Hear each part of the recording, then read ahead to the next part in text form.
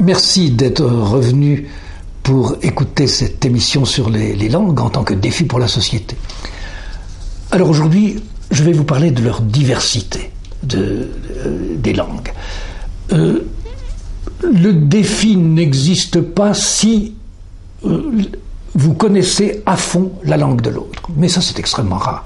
Dans la grande majorité des situations interculturelles, comme on dit maintenant, la communication est hachée, difficile, pénible, ou alors elle demande des intermédiaires qui, coûtent cher.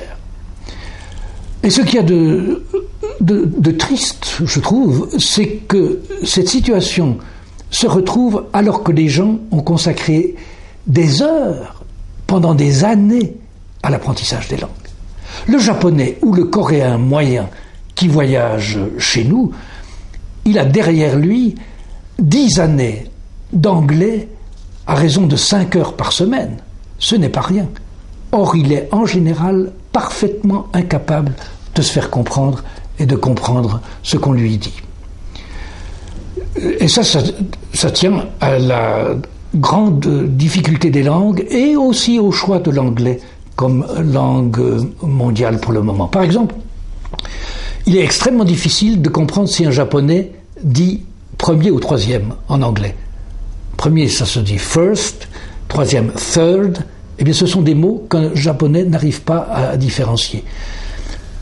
Prenez le mot troisième, third. Aucun des sons de ce mot n'existe en japonais.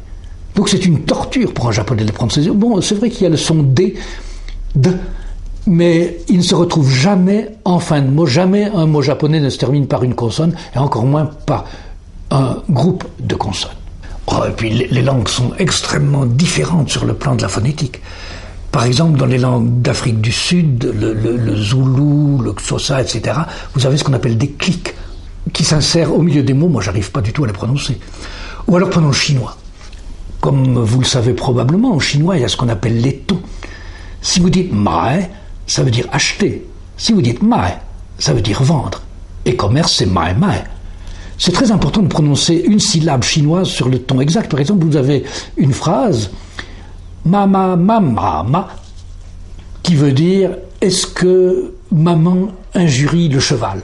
Bon, d'accord, c'est pas une phrase que vous aurez souvent l'occasion d'utiliser dans la vie courante, mais tout simplement pour vous montrer comme euh, des différences très subtiles et qui n'est pas si simple que ça d'apprendre sont importantes dans certaines langues. Euh, en arabe, vous avez ce qu'on appelle des consonnes emphatiques. Quand nous disons Al-Qaïda, ça ne ressemble absolument pas au son original qui est quelque chose de l'ordre de Al-Qaïda.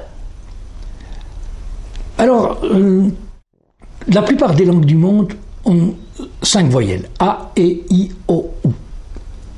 En anglais, il y a 24 sons vocaliques qui s'étalent comme une gamme.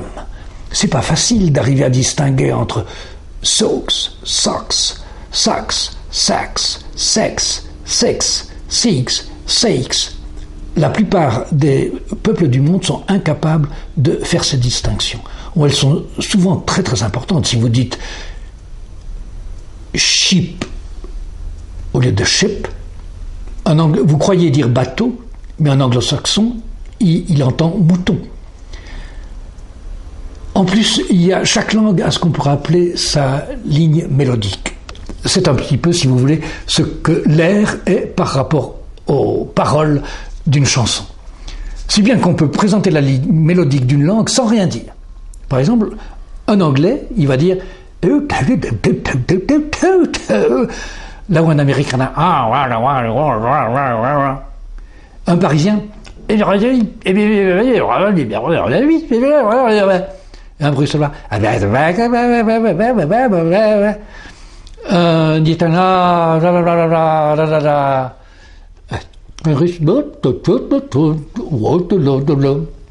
Vous voyez, euh, ce sont des, des, différences qui sont vraiment euh, essentielles, qui font partie de tout ce qui est sous-jacent à une langue et qui en définissent l'esprit. Bon, la prononciation, c'est un aspect extrêmement important du langage, mais ce n'est qu'un aspect. Il y a la grammaire. Et là aussi, les langues sont d'une diversité absolument extraordinaire. Il y a des langues comme l'indonésien, le créole haïtien, le chinois, qui n'ont aucune exception, aucune irrégularité. Euh, en chinois, la conjugaison du verbe être au présent, par exemple, c'est wash, nish, tash, womansh, nimensh, tamensh. Vous avez entendu, c'est tout le temps la même chose. Pour pouvoir conjuguer le verbe être au présent en chinois, il suffit de connaître cinq éléments. Les trois pronoms, le signe du pluriel et la forme, le verbe être. Alors qu'en français ou en anglais, vous avez, prenez l'anglais par exemple, I am, you are, he is. Ça, change selon la personne. Euh, des langues comme le latin ou le russe sont des langues avec des des déclinaisons extrêmement compliquées et bourrées d'exceptions. En russe, pour dire un livre, vous dites adna kniga. Pour dire deux livres, trois ou quatre livres, donc jusque deux, trois et quatre, par exemple, prenons deux, ça sera dve knig. Et à partir de cinq, la forme change. 5, 6, 7, 8, 9, 10 livres, ce sera knig. On supprime la voyelle finale. Alors ce qui complique l'intercompréhension entre les êtres humains, c'est que c'est aussi le vocabulaire. Le vocabulaire, c'est-à-dire les mots. Et ce à quoi on ne pense pas généralement, c'est que les mots sont des regroupements d'informations. Prenez par exemple l'expression son secrétaire, sa secrétaire en français elle vous donne une indication sur le sexe du ou de la secrétaire, mais pas du tout sur le sexe du patron. En anglais, c'est l'inverse. His secretary. Vous ne savez pas s'il s'agit d'une femme ou d'un homme qui est secrétaire. Mais ce que vous savez, c'est que c'est le ou la secrétaire d'un homme. Her secretary. C'est le ou la secrétaire d'une femme. Les, concepts, si vous voulez, sont regroupés de façon différente. Ou prenez un mot comme oncle. En français, oncle, on voit très bien ce que ça veut dire. Mais vous ne pouvez pas le traduire en chinois sans savoir de quoi il, s'agit. S'il s'agit du frère aîné du père, ce sera Poufu ou Po S'il s'agit du frère cadet du père, ce sera Chou Chou. S'il s'agit du frère de la mère, ce sera Tio Tio. S'il s'agit du mari de la sœur du père, ce sera Ye.